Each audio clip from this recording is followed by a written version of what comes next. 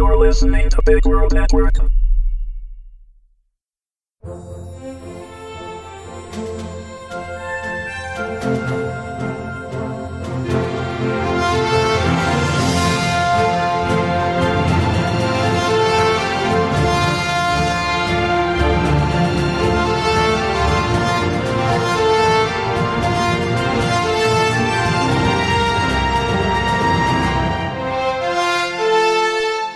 Prince from Another World, Episode 1.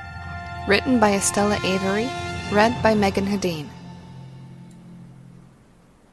The full moon shined brightly in the night sky, adding a sense of eeriness to the darkness of the unfamiliar city. The birds cried out, moving to perch higher in the trees as the branches waved menacingly in the wind. The few light posts nearby radiated their light at the hooded woman half hidden in the shadows. Her green cloak concealed part of her long dark hair that curved wildly down her shoulders. She glanced upwards at the squawking, causing the moonlight to reflect off her deep blue eyes before fading into the blackness of her cold stare. The woman turned her gaze back to the path she was on and walked through the deserted cemetery with purpose and determination, the blue bundle in her hands doing nothing to slow her pace. The faded sheet slowly came undone as the woman made a sharp turn around two tightly close trees barely avoiding an exposed tree root. A pale, small hand was revealed, followed by a faint cry. She stared down at the baby's raven hair, and her gaze turned colder as it clashed with his sapphire eyes shining with pure curiosity. Delicately small, ivory fingers grasped the locks of her hair that fell towards his face, and he gently tugged them, demanding further attention. A faint sound behind them broke the woman's gaze from his. His cry became a giggle as the woman suddenly began to run, his wide eyes scanning what little he could make out over the edge of the sheet. A shout behind them had the woman running faster as her eyes turned from blue to gold in mere seconds. A bright light shot through her extended hand and slashed through the night for a brief moment, making it seem like day had arrived too soon. The young man who had come rushing through the bushes after her halted, quickly covering his eyes with his arm, and then rubbed them in an attempt to regain his sight and the chase. Namora, this will not solve anything. You are only stalling, nothing more, the man called out, his voice full of threats and desperation.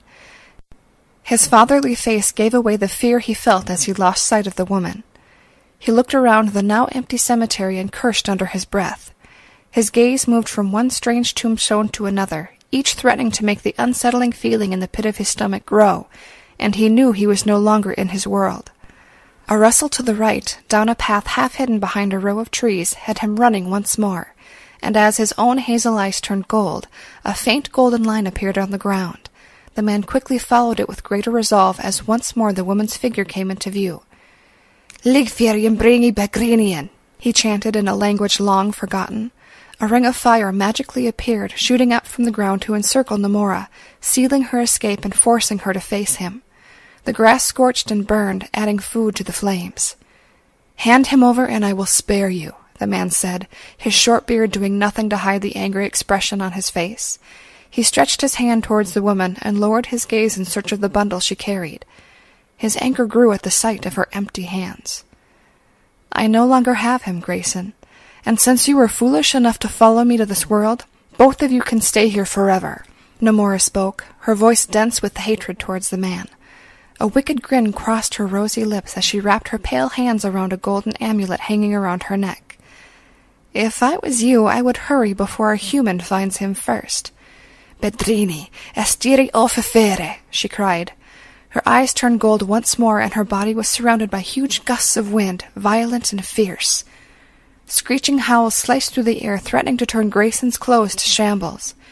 She was escaping, traveling on the wind back to their own world. He could not let her escape. Thinking quickly, Grayson pushed his body into the impossibly strong wind and headed toward where he had last seen Namora standing, desperate to reach her before the spell finished. But he was too late. The wind quieted down before it dissolved into the night, disappearing with Namora, but leaving Grayson standing in the middle of the woods in an unfamiliar city.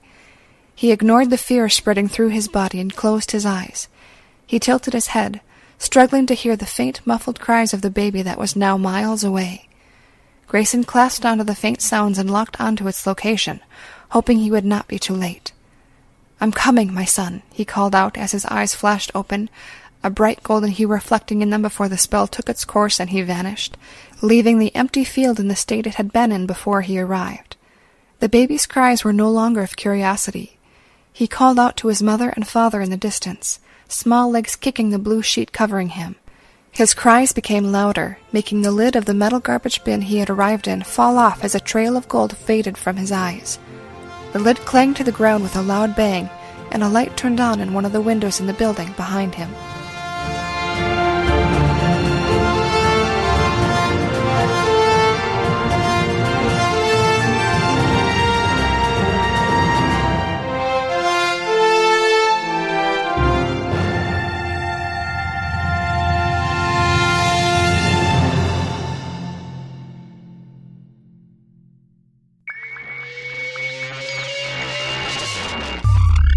Listening to Big World Network.